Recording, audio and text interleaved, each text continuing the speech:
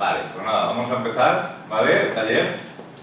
Eh, como somos prácticamente los mismos del taller anterior, ¿vale? Hoy ya va a ser totalmente práctico el taller, ¿vale? Vamos a abordar el, el tema del ajedrez ya desde el punto de vista práctico, ¿vale? Entonces, lo primero, cualquier pregunta, duda que os surja de lo que yo explique o lo que no explique, vosotras preguntas sin problemas, ¿vale? Que para eso estamos, somos una familia, ¿vale? Así que eh, haremos eso. Bien, eh, vamos a empezar. Bueno, yo supongo que sabéis, sabéis montar las piezas del ajedrez, ¿verdad? Como veis, el tablero de ajedrez consta de 64 casillas, 8 filas, 8 columnas, ¿vale? Las 8 columnas son de la A a la H y las 8 filas son de la 1 a la 8. 8 por 8, 64. ¿eh? Tenemos a maestros matemáticas aquí que nos colabora. 8 por 8, 64. Vale. Bien, pues eh, el tablero se coloca bien cuando la casilla blanca está a la derecha. ¿vale? Si lo pusiéramos, si lo giráramos 90 grados, tendríamos la casilla negra a la derecha, con lo cual estaría a mano, podríamos como ese, ¿vale? Como ese que está a mano. ¿Vale? Bueno, bien. Eh, voy a hacer un, un somero resumen de las piezas, ¿vale? Del valor de las piezas, de cómo se mueven. Vosotros ya sabéis más o menos todo eso ya, ¿no? Lo tenéis superado, de cómo se mueven y todo eso, ¿vale? Así que lo voy a hacer rapidito, ¿vale? Y así mientras voy colocando las piezas. Bien.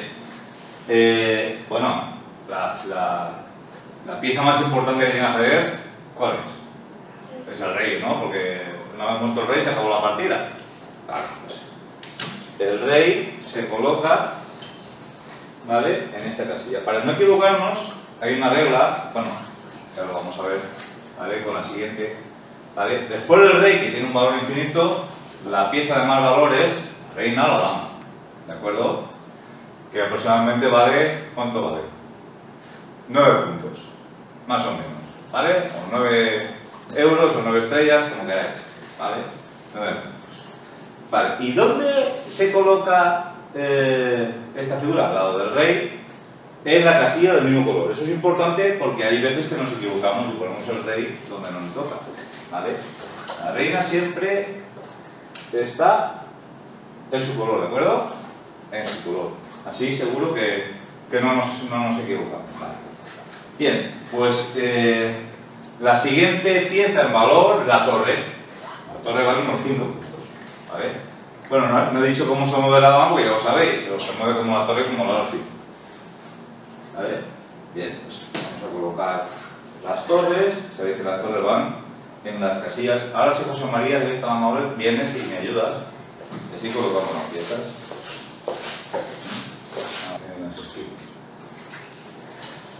Bien, luego están los alfiles que se mueven en diagonal. Eso ya lo sabemos. Los caballos que ahora vamos a ver los movimientos de los caballos. Y por último, la pieza de menor valor relativo, porque como sabéis, el valor de las piezas depende de muchas cosas, son los peones, ¿vale? Que se eh, colocan en la segunda fila. En la segunda y en la séptima fila. Los negros en la séptima y nosotros en la segunda. Bien, José María, me has colocado de tal manera que lo tengo fácil.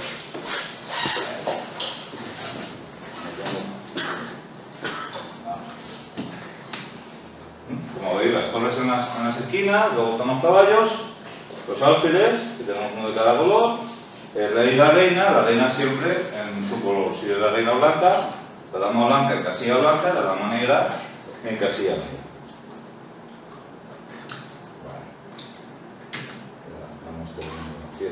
Poco a poco. Vamos a tener un problema con un peón porque falta de imán. Pero bueno, no pasa nada. Una cosa del directo y... Estaría este peón, tenemos por ahí, pero como me falta el imán, si le ha caído el imán no podemos poner. Pero bueno, ¿eh? si se conforma eh, el tablero de ajedrez. Bien, eh, el tablero de ajedrez, como he dicho, consta de 8 filas y 8 columnas, pero digamos que el terreno de juego este es como el terreno de juego, ¿no? De fútbol o de baloncesto, no es lo mismo, ni tiene el mismo sentido unas casillas que otras, voy a explicar. Lo importante eh, en una partida de ajedrez es poseer o controlar el centro. Para saber eso tenemos que saber lo que es el centro del tablero. ¿vale? ¿A qué se llama centro del tablero? Bueno, pues hay cuatro casillas, que son estas cuatro, ¿vale? que son D4, D5, E4, D5. Como sabéis, las casillas se nombran eh, con el nombre de la columna y el apellido de la fila. Estas cuatro casillas son el centro del tablero. ¿eh? Como veis, están justo en el centro del tablero. ¿Por qué son importantes? Es como el boxeo, vosotros sois muy pequeñas, pero no mayores sabemos que el boxeador más fuerte se colocaba en el centro del, ring y la vez controlaba, ¿no? Desde, desde el centro se controla prácticamente todo el tablero. Por eso es tan importante dominar, ¿vale? Establecer el dominio de nuestras piezas en el centro. Luego hay una ampliación de ese centro que se llama centro ampliado, que son las casillas que son las casillas contiguas a estas del centro. Tenemos el centro-centro y el centro ampliado, que son estas casillas, que también son importantes. A la hora de eh, iniciar la partida, lo que tenemos que intentar es colocar nuestras piezas lo más eficientes posible. ¿Qué es eso de lo más eficiente posible? Pues, no sé, si voy a pintar, imaginaos que ahora vamos a pintar ¿no? las paredes, pues tenemos que tener los botes de pintura colocados, ¿vale? Los pinceles colocados, las barras colocados y, en fin, todos los papeles que usemos colocados para, para no mancharnos demasiado. Pues cuando empiezan las, partidas tenemos que colocar nuestras piezas en el mejor sitio posible. Manías que tienen muchos chicos y chicas cuando empiezan a jugar. Típica manía de eh, jugar esto y luego sacar la torre. Mal hecho, mal hecho. Cuando, cuando explico esto a mis alumnos, siempre pongo el mismo ejemplo. Imaginemos que estamos en una autovía. Estamos en una autovía, la autovía van los coches y los camiones, no muy deprisa, usamos los coches y los camiones. Si usáramos una bicicleta en una autovía, pues iríamos mal. Y un caballo, pues también iríamos mal. Pero ¿y si estamos en el monte? ¿Qué ocurre? Pues que en el monte una bicicleta o un caballo va mejor que un coche, porque si nos metemos en medio de los pinos el coche se queda, se queda enganchado. Pues cuando empieza una partida de ajedrez, la que sea, ¿qué ocurre? Que empiezan a salir las piezas y esto se convierte en un bosque. Entonces, si se convierte en un bosque, si cogemos un coche, el coche se, se va a quedar enganchado en algún sitio. Por lo tanto, Primer, eh, primera regla que tenemos que tener claro cuando empecemos una partida. Hay que intentar dominar el centro y sacar nuestras piezas menores. ¿Cuáles son las piezas menores? El caballo y el alfil. Estas piezas son las piezas menores. Caballo y alfil. Cada una de ellas vale tres puntos. ¿Vale? Recordemos, el rey tiene todo el valor, la arena 9, las torres 5, caballo y alfil 3 y peón ¿De acuerdo? Pues, pues nada, eh, cuando empezamos la, partida tenemos que dominar el centro y sacar nuestros caballos y nuestros alfiles. Ojo, una cosa también importante, se suele sacar la, la reina o la dama demasiado pronto también. Siguiente regla, hay que intentar no sacar la reina demasiado pronto, porque era de más valor, la pieza de más valor. Eh, si tenemos un jarrón muy valioso en casa, pues intentemos protegerlo en algún sitio, ¿no? Si tenemos que usarlo, lo, usaremos cuando toca, pero no cuando estamos jugando con el balón en un pasillo, pues hay que tener cuidado con el jarrón, pues esto es lo mismo, ¿no? Eh, la dama es, la pieza más importante que tenemos, la de más valor, pero hay que protegerla. Eso no significa que no haya que moverla, claro, pero al principio de la partida, si empezamos a moverla, pueden ocurrir dos cosas. Una, o bien que nos la maten, que nos la capturen, o bien que empiecen a amenazarla y empezamos a perder tiempo. ¿Qué es lo de perder tiempo? No, no quiero enrollarme mucho, pero esto es, esto es muy importante. Cuando uno, sabéis cuando uno empieza una partida, hay eh, un bando de blancas un bando de negras, empiezan las blancas y siempre juega alternativamente un jugador y el siguiente. Eso se llama tiempos. ¿vale? Cada uno tiene su tiempo. Hay un movimiento de blancas, por ejemplo este, movimiento de negras, este, y luego volver a jugar alternativamente los blancos. ¿Qué ocurre Imaginemos que ahora las negras esto. ¿De acuerdo? Ahora, ¿qué ocurre si yo muevo el caballo aquí? Que he perdido dos tiempos.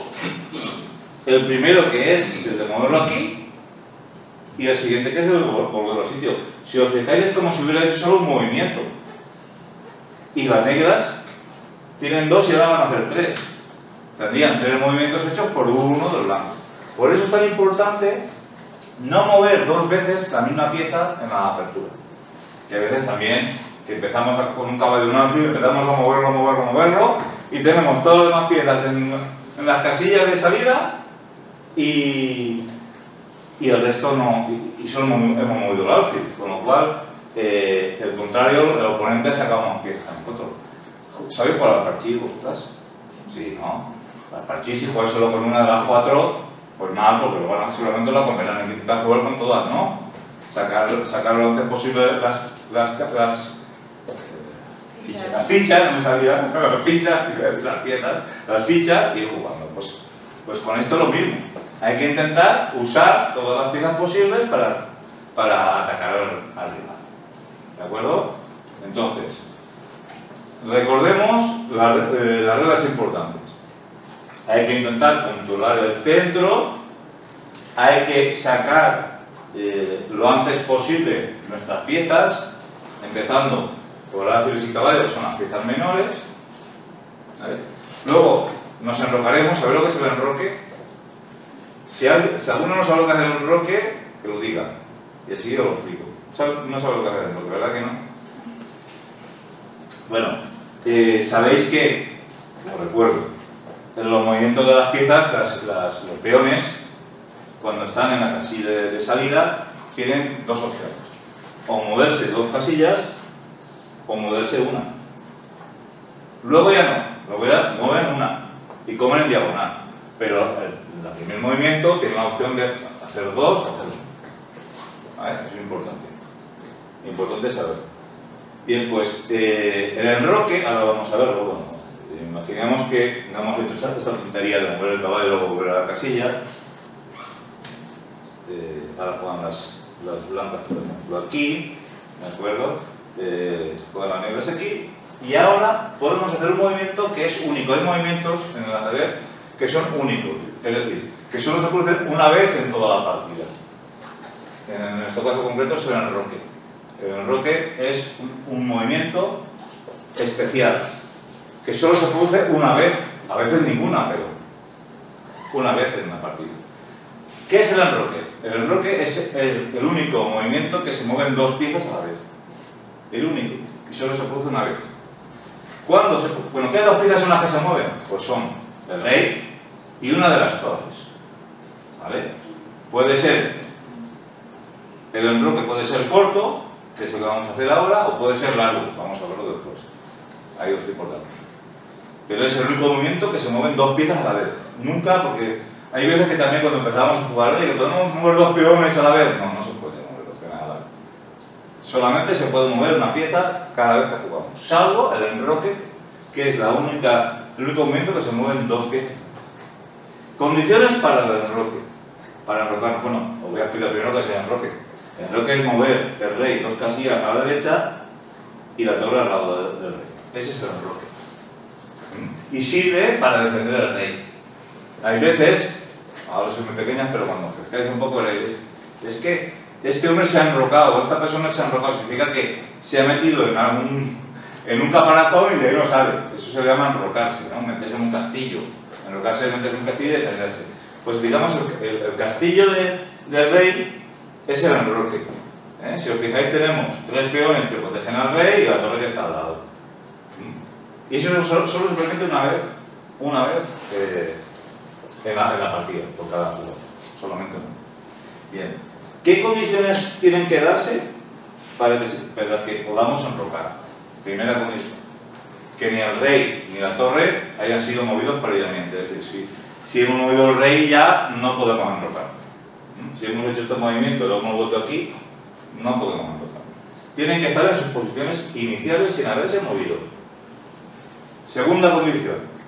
No puede, no puede estar en jaque. ¿Sabéis qué es el jaque? Jaque es cuando una pieza enemiga nos amenaza el rey. Eso es el jaque, estamos en jaque. Si esa amenaza no se puede defender de ninguna de las maneras, el jaque mate y se acaba el partido. El jaque es cuando nos está amenazando el rey. Entonces, cuando nos está amenazando el rey no podemos enrocar.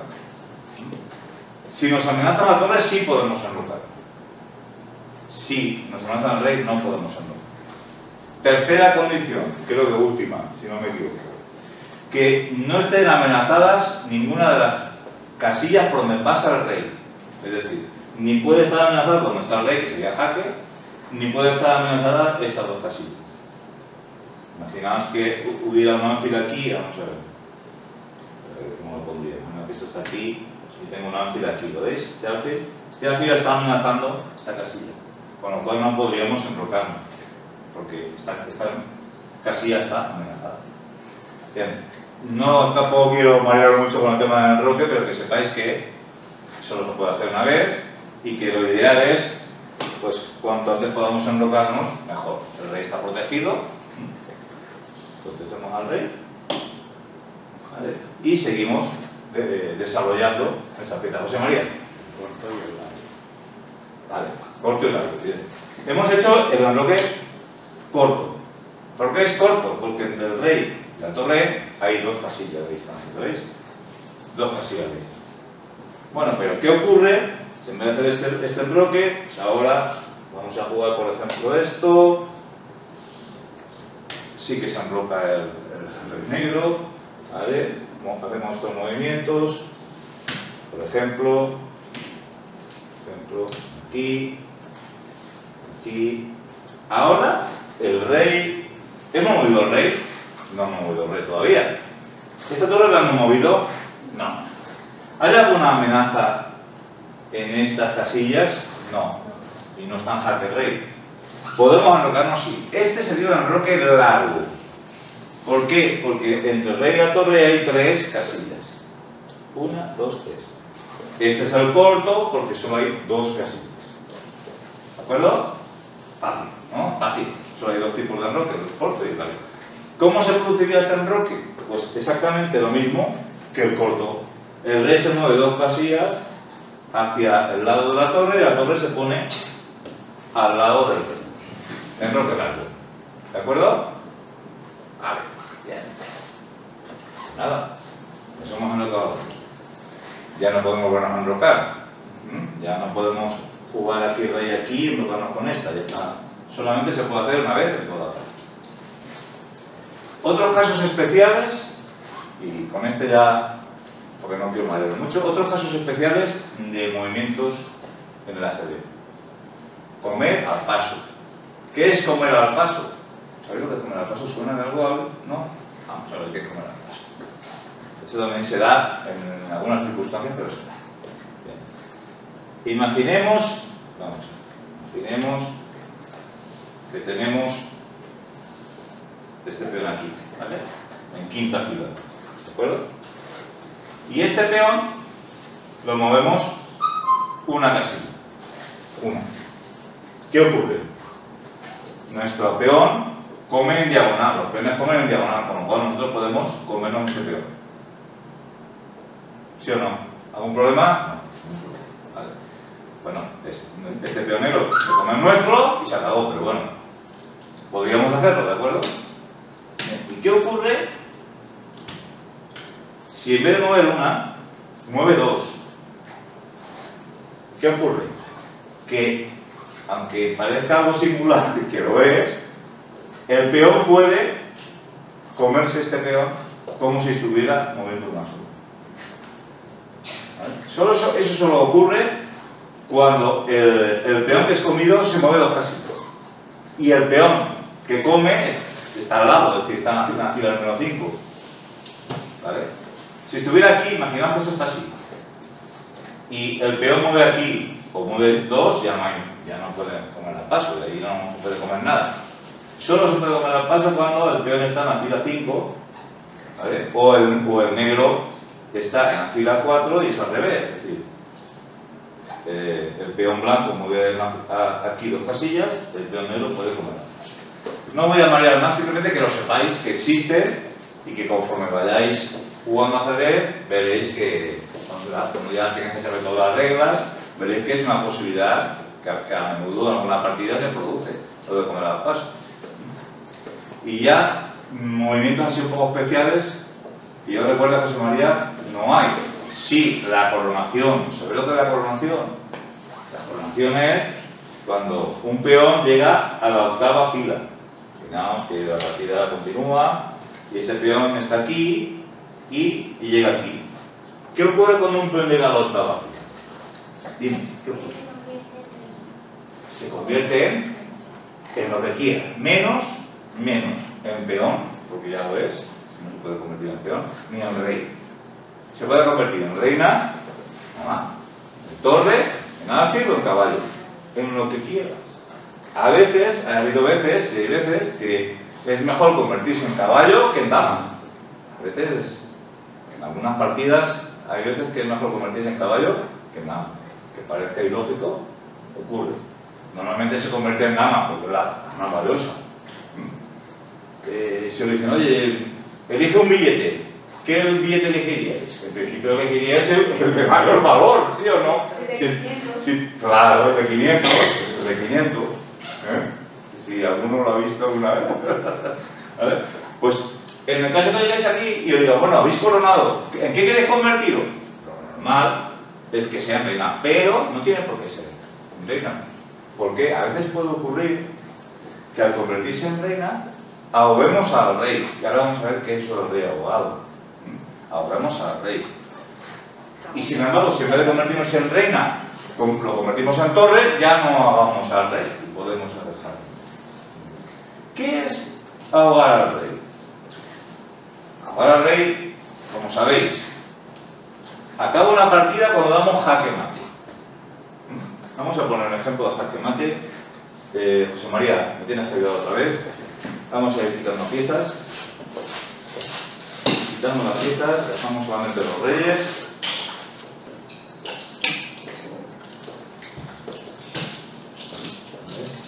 Dejamos los reyes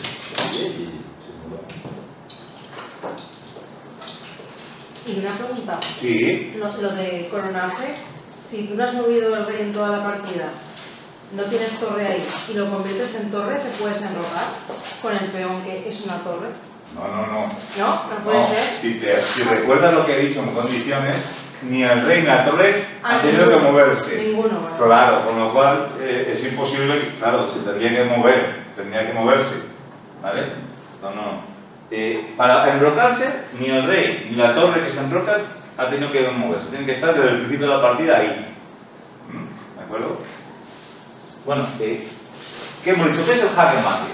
Jaque mate. El jaque mate es. Imaginemos que esto está así, ¿vale? Y eh, juegan a blanca. Los blancas cogen la reina y la ponen aquí. Jaque. La reina, en, este movimiento que hace, está amenazando al rey enemigo. ¿Lo veis? Está amenazando, con lo cual le está dando jaque. José María, que no, no. Está dando jaque. ¿Vale? Eh, y el rey no tiene escapatoria. No puede, tirar para aquí, que no quedan filas ya, no puede mover la casilla F8 ni la D8 porque la dama se lo comería, ni puede eh, jugar a F7 ni a D7 ni a E7 porque el rey se lo comería. Con lo cual, esto es típico jaque mate. Hay muchos, muchos jaque mates típicos. Por ejemplo, este jaque mate se llama jaque mate del beso. No sé por qué, pero se llama mate del beso, porque bueno, eh, la dama está, entre comillas, besando al rey y el rey no tiene escapatoria. No puede comerse la dama porque está protegida con el rey blanco y no puede escaparse. Jaque mate del beso. Luego está jaque mate del túnel, que eso se da muy a menudo, pero lo vamos a ver. Imaginemos que, imaginemos que, que tenemos los peones aquí blancos, ¿vale? tenemos el rey aquí, tenemos por aquí una torre negra, una torre negra.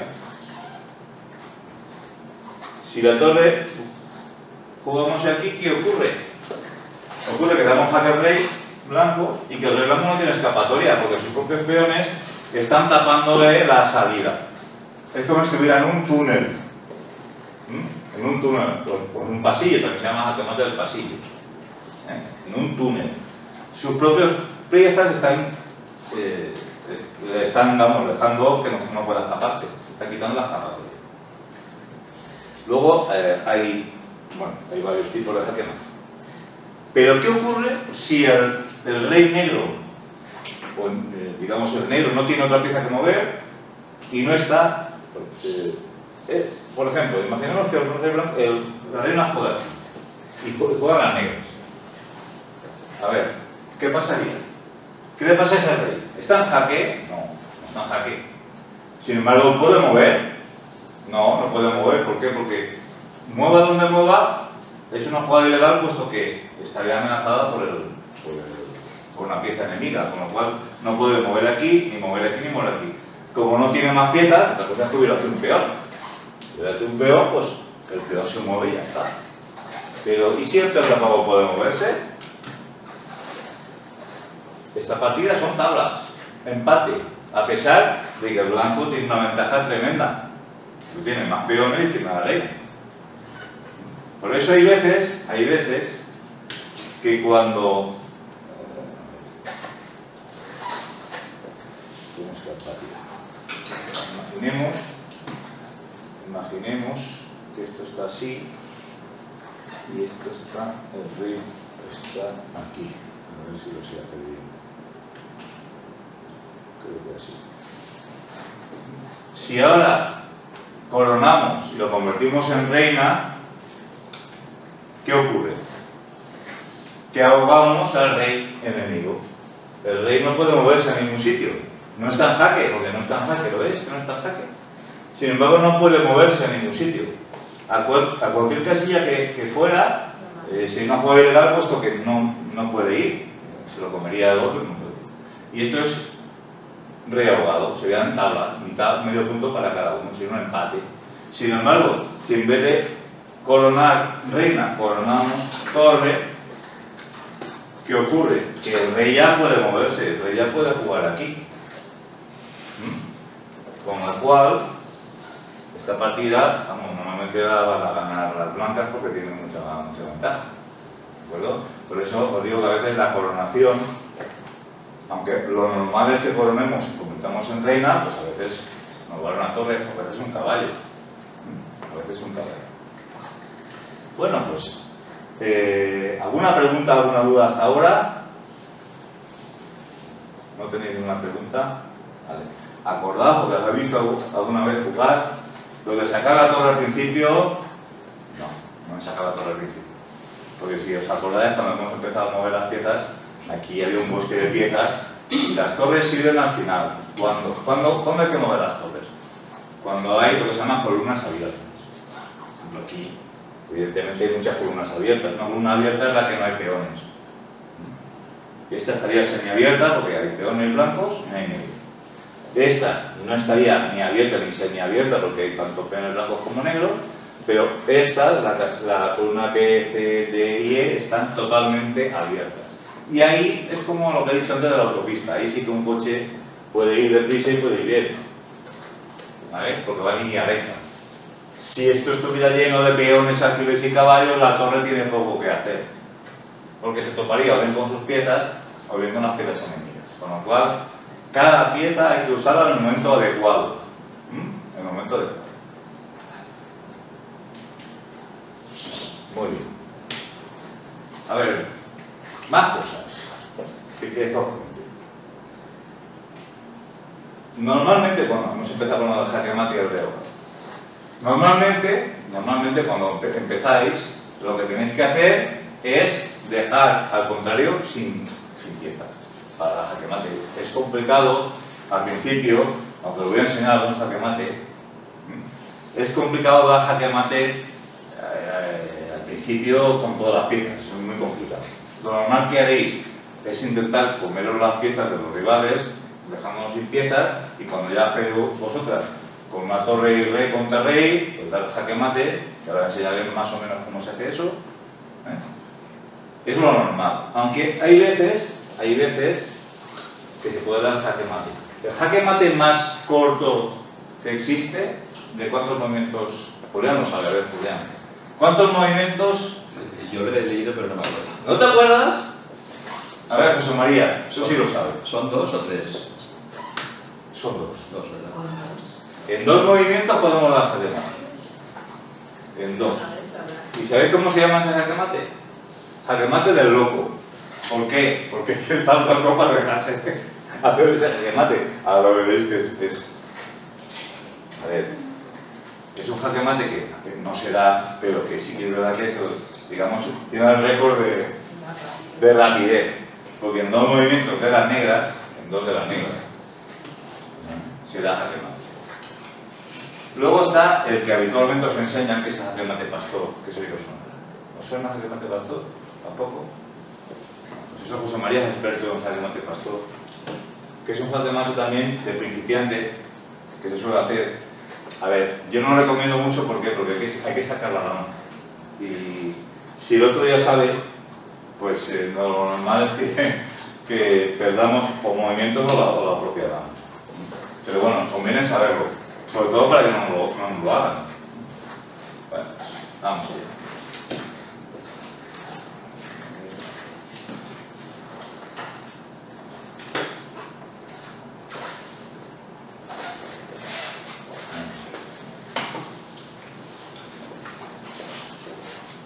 Uy, tengo mucho más negro. Voy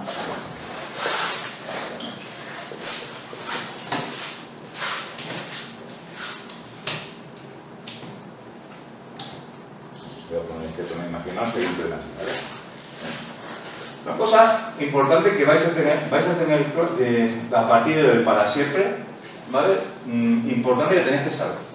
¿Cuál es la casilla priori, la casilla más débil que tiene el rival? La casilla más débil. Casilla más débil la F7 de negras. Esta casilla es la más débil.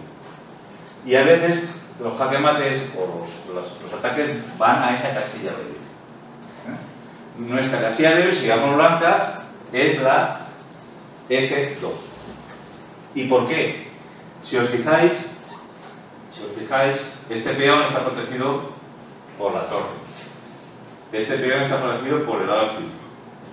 Este peón está protegido por la dama, por el rey y por el alfil. Este peón por la dama, por el rey y por el alfil. Este peón por la dama, este peón por el alfil y este que estuviera aquí por la torre. Sin embargo, este solo está protegido por el rey. Es el, el peón más débil, la casilla más débil. Es importante a la hora de atacar. Entonces, una de las... eh, bueno, voy a hacer el jaque mate al loco, lo primero, que es el jaque mate más, más rápido de la historia. Para hacerlo, el blanco tiene que ayudar, Tiene que estar loco. tiene que estar loco. Entonces, ¿qué hace el blanco? Pues el blanco hace esto. Juega, juega esa, pues bueno, pues vale. Y el, el negro juega esta. Y ahora el, el, el blanco juega esta. Ha hecho dos movimientos. Y en el segundo movimiento de las negras, cogemos la reina,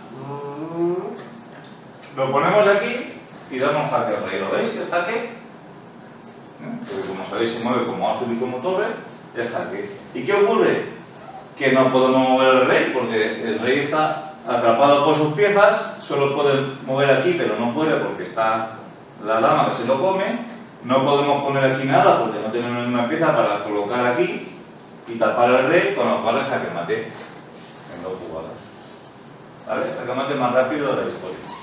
¿Eso no sería rey ahogado? No, porque es jaque. Sí, a ver, primero, el rey ahogado es complicado porque el rey es ahogado cuando no, puede, no, puede haber, no hay movimiento legal. Aquí habría mucho movimiento legal porque quedan muchas piezas. Normalmente el rey ahogado se produce cuando solo queda el rey. Cuando solo queda el rey y el rey no puede moverse, no en jaque, entonces el rey ahogado. Porque si el rey, aunque no pueda moverse, si nos queda una torre o un caballo en alfil, lo podemos mover, se mueve y ya está. Bueno, pues esto sería el jaque mate y ahora vamos a ver el jaque mate del pastor, que tiene que ver precisamente con esta casilla que os he dicho que es la casilla y que es una de las casillas importantes que tenemos que ir a atacar cuando, cuando juguemos una partida.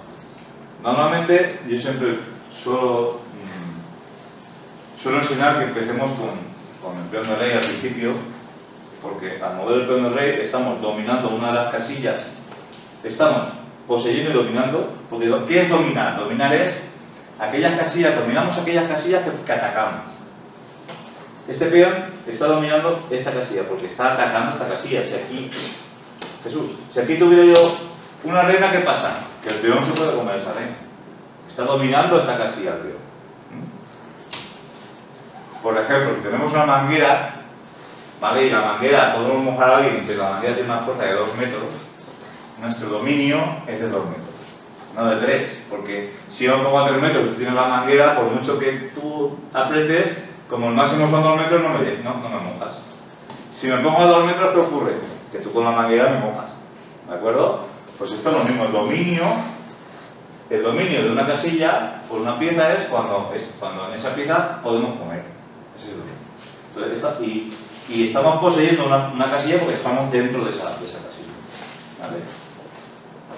Aparte de eso, estamos dando salida al alfil y a la dama.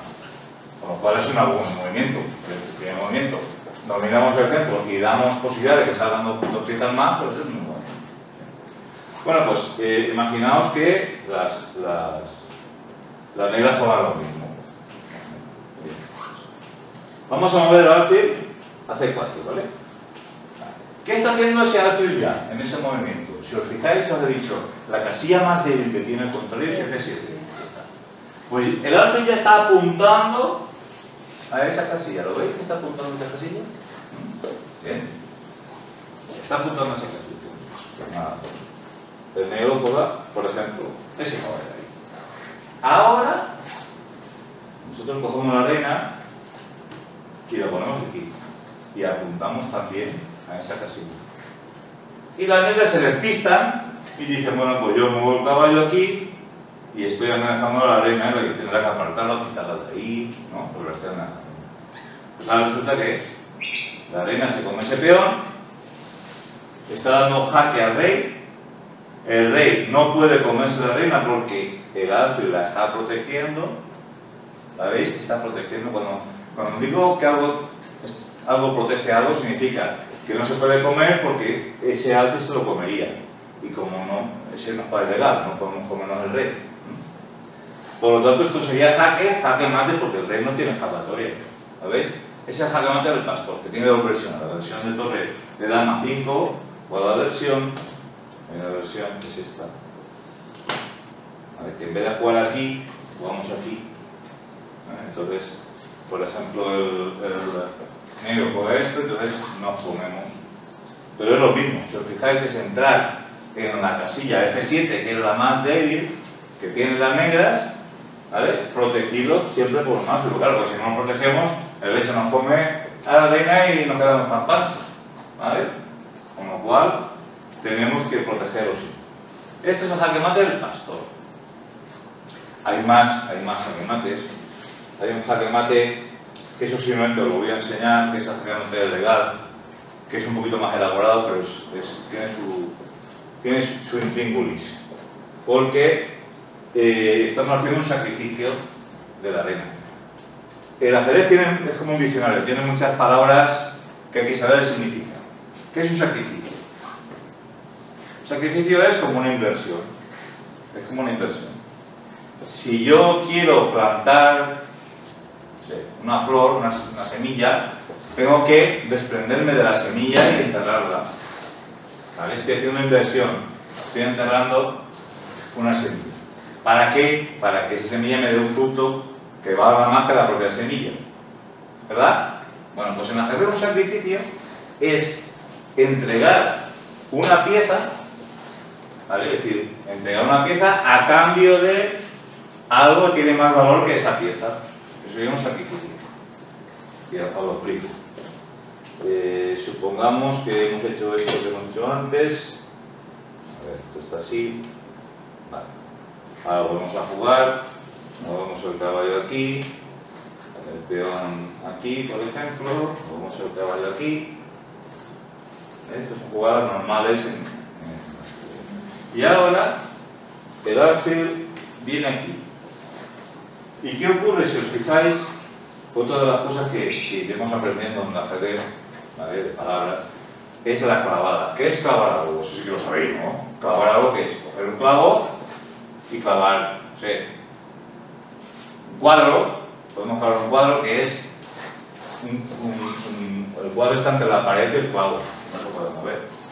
Pues clavar el caballo significa que yo no puedo mover el caballo porque si muevo el caballo me comen, comen la reina, ¿lo veis? Sin embargo yo, va, me como este pelo. Uy. Y el negro dice, uy, esta es la mía. Porque al mover el caballo, ¿qué hago yo? Me como la reina. ¿Qué vale la azul? Tres. ¿Qué vale la reina? Nueve. La inversión es buenísima. ¿Eh?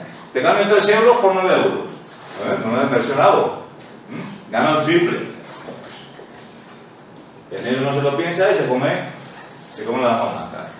¿Y ahora qué ocurre? Ocurre que el alfil entra en la casilla F7, que es la más débil de las negras, jaque, el rey solo tiene un movimiento, que mover aquí, y muevo este caballo, doy jaque al rey y ese jaque es mate, porque el rey no tiene escapatoria.